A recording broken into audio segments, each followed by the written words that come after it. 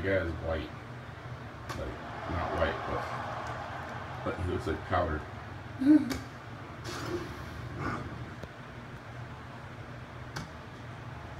It's like accidentally clicked the albino button. It's hilarious.